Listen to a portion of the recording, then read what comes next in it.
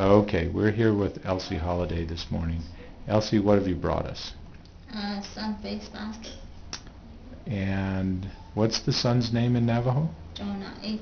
Jonah A. And he's the father of Monster Slayer and Born for Water, the hero twins who Yes. slew the monsters that were terrorizing the Navajo people. Yes.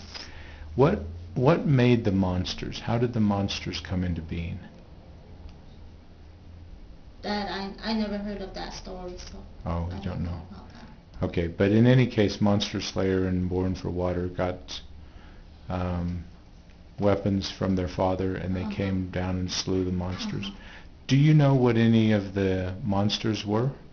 Do you know their names or? Um, what were they called? They're hard to say. Um, I forgot how to say it. They're really hard to say. The way they say it, it's really hard. in Navajo. It's Uh-huh. is that like old Navajo Uh huh. that um, um, a lot of people don't really speak anymore? No. Just the medicine men. Yes. Uh-huh. And tell me about how you made all those beautiful colors in that basket.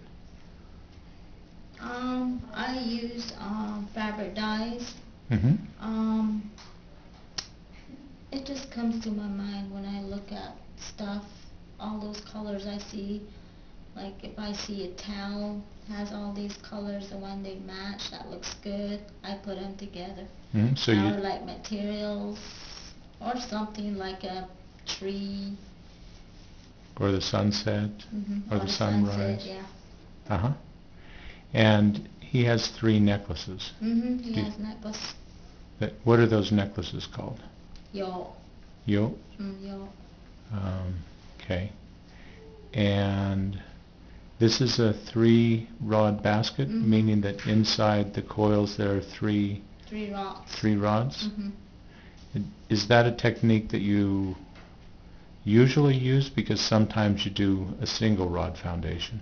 mm -hmm. From the beginning, I used to use three rods, Uh-huh. and then a couple of years later, um, I s- nobody has made a one rod basket, and I I tried it and it worked and it worked out real good. And I've been using one rod for a while now. Like this year, I got back onto three rod.